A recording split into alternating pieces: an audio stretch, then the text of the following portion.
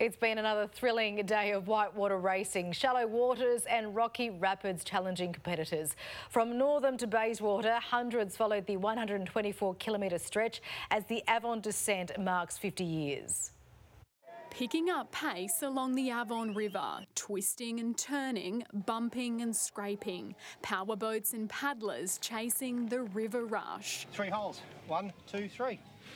And it's the roughest repair, but all that matters in the Avon is getting to the finish line. More than 400 competitors enduring a mammoth 72 kilometre stretch today, exhausted bodies and tired arms tackling the rapids. A few tumbles and overturned boats, the lower than usual water levels testing competitors.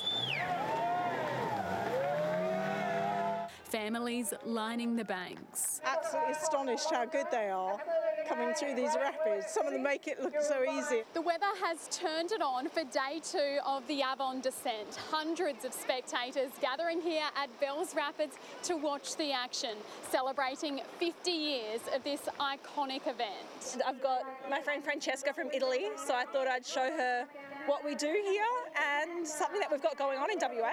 One last push to the finish, giving it their all. Noah Boldy and Jesse Phillips, the first across the line as a team of two. Ben Carrick, the fastest solo paddler. People were calling out down the valley how far I was behind, so it wasn't until the last 15k that I actually put some inroads in. So yeah, I'm very surprised and extremely happy. Michael Prosser and Justin Green taking out the title for the quickest power dinghy.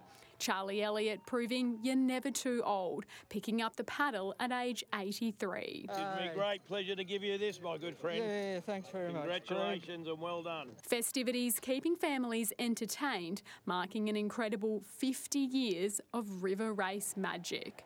Sarah Smith, Nine News.